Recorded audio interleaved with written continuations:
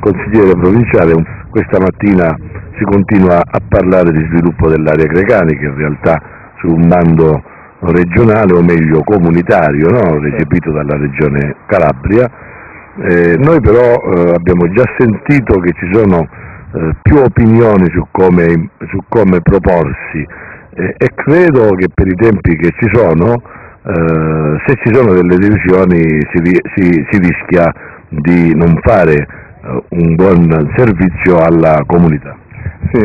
vabbè, io intanto prendo come buono l'auspicio quello della Regione Calabria che invia in corso d'opera degli aiuti a livello tecnico perché possano dare dei chiarimenti e però anche è vero che questi chiarimenti non possono essere l'unica eh, soluzione in quanto nel frattempo stanno marciando spediti i tempi per la scadenza ufficiale della consegna del progetto vero e proprio che è il 19 giugno, addirittura 5 giorni prima perché va fatto un passaggio alla provincia, al protocollo della provincia per dare il tempo della valutazione sul progetto all'ente provincia, perché il PISL, ricordiamo, è un braccio attuativo, uno strumento attuativo del PSR che è il piano regionale. Eh, immagino che cinque giorni dal protocollo della provincia alla consegna non siano necessari neanche all'ente provincia, non per mettermi diciamo, in difesa dell'ente provincia, ma per eh, far rilevare a tutti coloro che si sono interessati in questi giorni dei PISL e quindi mi possono seguire, che altrimenti il cittadino comune immagino che non riesca neanche a seguire, che cinque giorni non sono un termine eh, eh congruo, sono un termine così come lo so, non lo sono i 60 giorni dall'emanazione del bando alla consegna eh, del progetto completo. vuol dire che la Regione sta pagando un ritardo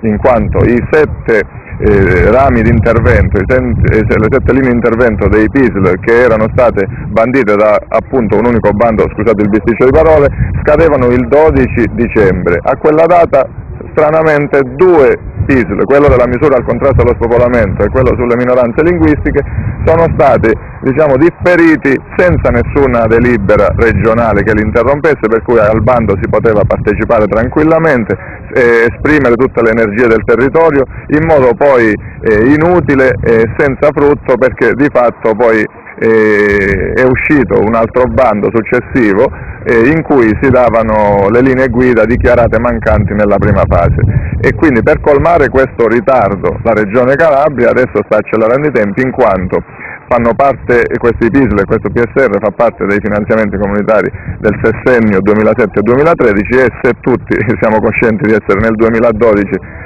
ormai inoltrato, sappiamo pure che la scadenza appunto di questi fondi, di questa programmazione è alquanto diciamo, vicina, per cui questa fretta non porterà o comunque non ha portato sin qui bene. Adesso noi non possiamo sbagliare come area, soprattutto per il piso minoranze linguistiche, perché quello sullo spopolamento coinvolge un po' tutta la provincia. 32 comuni eh, che sono al di sotto della soglia dei 1500 abitanti e che abbiano avuto un decremento del 5% di spopolamento costante negli ultimi 10 anni e questo che riguarda la nostra area giustamente deve vedere un'univocità di pensiero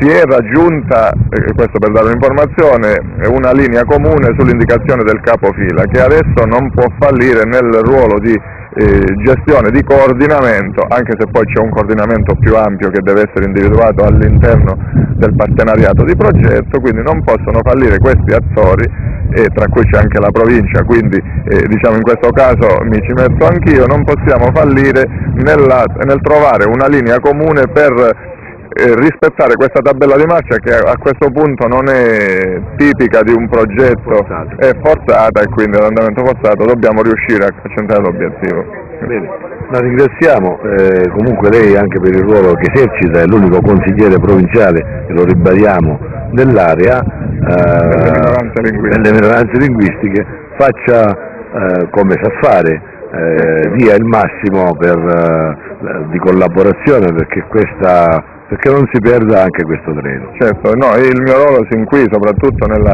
fase precedente, è stato questo, quello soprattutto di limare, smussare qualche angolo che si crea nel corso degli anni tra vari amministratori dei comuni, non so se è solo per eh, una specie di campanilismo, ma anche per eh, la gestione